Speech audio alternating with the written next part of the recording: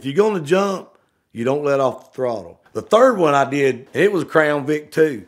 And we painted that thing up and put a rooster on the side of it and run the pipes up the side. I did the same thing. We had 250 people show up at this one. The third one, I had it about eight foot maybe. It was the tallest one.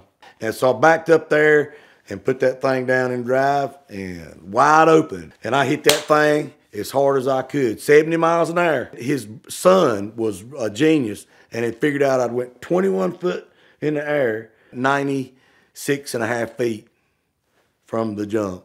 And it slammed, it went down and hit the ground. The transmission, a rock, hit that cone, the transmission cone on the end of it.